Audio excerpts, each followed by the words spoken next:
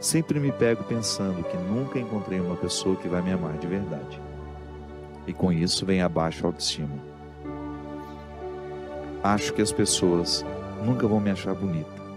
E eu sofro com isso, pai. O que, que eu posso fazer? Minha filha, a, a leitura que nós fazemos de nós é absolutamente importante para a gente é, receber a leitura que o outro faz de nós.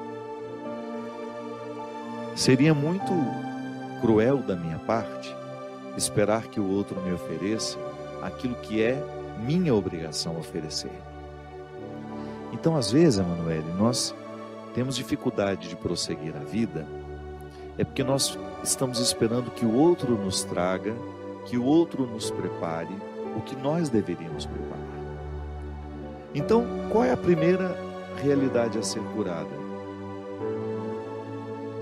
Tomar uma distância do casamento de seu pai e da sua mãe que não deu certo e, e, e tentar entender que isso não é uma regra para você. Que às vezes, quando eu vejo o fracasso do casamento dos meus pais, eu tendo naturalmente a pensar que o meu também será uma experiência fracassada porque é o exemplo mais próximo que nós temos de nós. Então é preciso lavar essa roupa suja. É preciso é, reorientar essa visão. Sim, tá certo. Ah, eu, eu terei sempre mais facilidade de interpretar o mundo a partir daquilo que está sendo oferecido a mim. Então eu interpreto o casamento a partir do casamento mais próximo que eu tenho.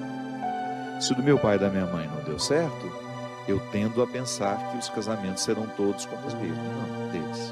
E não. Sabe, permita. Permita que essa impressão vá embora. Olhe para outros, outros modelos que deram certo. Sem a visão romântica, por favor. Né? O casamento só pode dar certo à medida que nós lutamos diariamente por ele. E foram felizes para sempre. Não existe não. E depois que você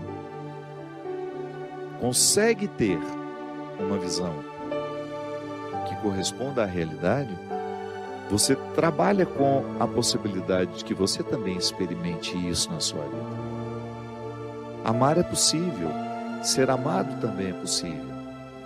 Mas esse amor só é, ele só se torna uma realidade na nossa vida à medida em que nós nos abrimos a Ele. E que você se oferece diariamente uma oportunidade de amar e ser amado. O que, o que é a autoestima? É o primeiro amor que nós experimentamos, né? O primeiro amor que eu experimento não é pelo outro, é por mim. Tanto é que isso também faz parte da maturidade. Quando você é capaz de ir abrindo mão daquele excesso de amor por você, que é próprio da criança, porque a criança não é capaz de se dividir, ela não tem maturidade emocional, afetiva, cognitiva para poder dar-se a alguém. Então ela é imatura, e é direito dela ser imatura, porque ela está naquela fase. Mas à medida em que ela vai crescendo, ela vai percebendo que ela pode oferecer-se aos outros que ela não precisa somente receber. Então, a autoestima é o equilíbrio daquilo que você se oferece e daquilo que você oferece ao outro. Não existe amor em si mesmado. A autoestima nunca é um amor solitário. O amor que eu tenho por mim é sempre na partilha com o outro, mas eu tenho que ter amor por mim. Porque senão eu fico me doando sem me oferecer. E aí, naturalmente, eu vou criando uma derrocada para mim. É por isso que a maturidade, ela vai me levando a compreender que no exercício do alto amor, eu aprendo a amar o outro. E também no exercício do amor ao outro, eu acabo voltando ao amor que eu preciso ter por mim. Então, Emanuele, essa cura não é só você que precisa. Não pense que é só você que sofre desse desânimo. Não. Muitos de nós sofremos desse desânimo. Ou muitos de nós experimentamos essa esse fracasso de não sermos suficientemente amados por nós. Sim, eu preciso amar suficientemente o ser que sou. Amar-me significa reconciliar-me com os meus limites, conhecer todas as minhas, ou, ou tudo que eu puder das minhas fragilidades, que às vezes eu não sou capaz de conhecer tudo, mas o, o máximo que eu puder conhecer dessas fragilidades, para eu poder arregimentá-las, para que elas joguem a meu favor. Sim, que até a minha fragilidade, se ela estiver sob o meu domínio, ela me favorece.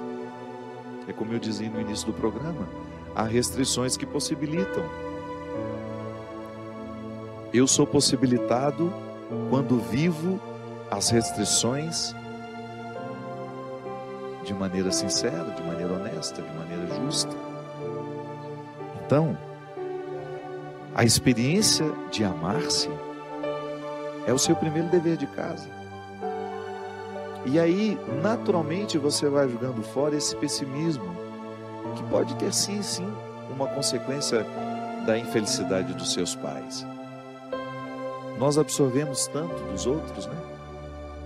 Eu absorvo o tempo todo das pessoas que passam por mim. Volto a dizer, é, o que é alcalino e o que é ácido, o tempo todo me é oferecido. Agora, o problema é quando eu me ofereço o sentimento ácido. Quando eu me ofereço o pessimismo que me priva de crescer. Então, todos os dias, não tem descanso isso, é diário, sem visão romântica, por favor. Deus não vem fazer por nós, o outro não fará por nós, sou eu, é você. Somos nós que temos de fazer diariamente esse exercício de escolher o alcalino, o sentimento que nos purifica, que mantém a nossa saúde e que vai nos dando condições de ir adiante, de vencer os obstáculos, que é assim que vale a pena a vida. Ela é difícil para todos nós. Eu experimento uma fase difícil e estou aprendendo com ela. Quero aprender com ela. Porque senão essa fase, ela só vai me machucar. E não é justo. Não é justo que uma fase apenas me machuque. Me machucar. E não é justo que uma fase apenas me machuque. Crescer com a dificuldade. Estamos todos no mesmo barco, viu? Não se sinta sozinha nessa história. Eu tenho certeza que muitos que nos assistem agora vivem o mesmo conflito que você. Sim, gente que precisa se amar, se oferecer mais, para que tenha condições de oferecer aos outros. Cultivo, sabe? Amar é isso. É você se oferecer um cultivo melhor. É você se permitir a experiência da beleza através de um livro, através de um bom filme, através de uma boa conversa. Porque às vezes a gente pensa, ah, eu preciso me amar, já acho que preciso ir lá no salão, pintar o cabelo, comprar roupa. Não, não é isso. Também pode ser, sem problema. Mas o exercício do alto amor, ele passa sobretudo por aquilo que nós nos oferecemos intelectualmente. E quando eu falo intelectualmente, pense também na dimensão sentimental, porque a gente não pensa no intelecto desconectado das emoções. Eu, quando eu penso o meu alto amor, eu penso no bom livro que eu estou lendo, nas boas influências que eu estou pretendendo, permitindo, no quadro que eu contemplo, na música boa que eu escuto, isso tudo é alto amor. Ou no descanso que eu programo, ou no encontro que eu marco para estar com as pessoas que eu amo, que me fazem bem. Isso é alto amor. E lá você se doa. Lá você vive a outra dimensão. Por isso que eu digo, não existe amor próprio em si mesmado. Não, ele sempre me coloca naturalmente à disposição do outro. É cíclico. Eu me dou, eu me ofereço e naturalmente ofereço ao outro, do outro eu recebo, volto para mim e assim vamos. Reciclando os amores, reciclando as experiências que nos amadurecem. É isso, minha gente. Maturidade é um processo de todo dia, de toda hora. E que Deus nos abençoe nesse projeto. Que afinal de contas, o que Jesus fez o tempo todo por onde ele passou foi amadurecer os corações que ficaram diante dele. Que com a gente seja da mesma forma. Derrame sobre nós a bênção e a proteção do Deus Todo-Poderoso, Pai, Filho e Espírito Santo